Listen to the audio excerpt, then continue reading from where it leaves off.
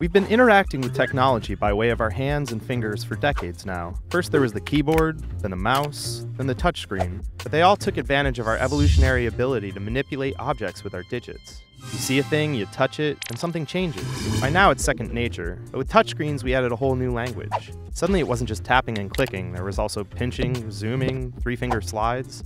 But we're still just basically tapping on glass. So, what comes after the glass? One idea is to take touch out of the equation entirely. This is the Google Glass approach. Just drop the information in front of their faces and let them talk, or in case of emergency, tap a sidebar. People are trying to bring this same technology to contacts so you wouldn't even need to wear a headset, but so far it's only at a resolution of 1 pixel per contact.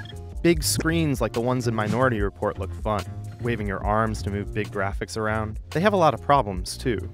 We do a lot of interacting with computers, and big gestures get tiring fast. But maybe those gestures don't need to be so flamboyant. Maybe smaller movements can work. Gesture tracking tech can detect a hand in midair and tell which part is the finger and which part is the palm. So when you spin your hand around, it can spin the graphic around to match it. It still lacks feedback, but maybe that comes next. Something like a nano coating that vibrates to fake the feedback of what you're not really touching, or neural trickery that makes it feel like something's really in your hand.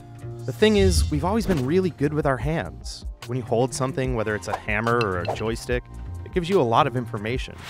We can feel resistance and weight and make really precise finger movements to give directions that would be impossible otherwise.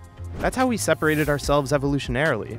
We were the species with the right fingers to use tools. And as we got smarter about how we interact with computers, we'll get better and better at honing in on those strengths. It's one reason why the interfaces of tomorrow might look an awful lot like the past.